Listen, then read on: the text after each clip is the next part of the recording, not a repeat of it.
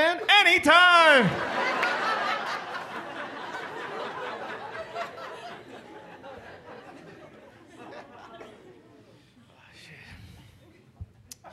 So everybody's complaining about uh, gas prices, but who's really complaining? Just broke ass people. You never hear rich people complaining. How much is gas? Five dollars. Whatever. Because when you're broke, you'll complain about everything. You'll complain about cereal prices. You'll be right there. How much is Lucky Charms? Two fifty. This is bullshit.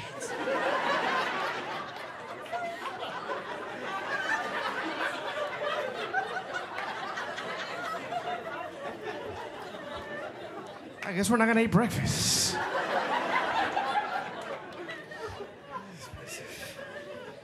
I go put gas now. When I put gas, I, I use everything at the gas station now. I don't give a shit. So expensive. I'll use the towels.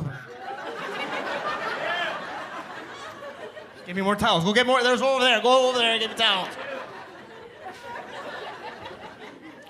I'll, wi- my- I'll wipe my whole car, the bumper. Get, the other tires, dude. Get more tires. I try to put air in my tires, but the air is like money now. It's like 50 cents an air. It's not that it's expensive, but it's, it's air. You know what I'm saying? It's air. It's free. What the fuck? 50 cents? I got 50 cents, but it's air. It's right here. It's like,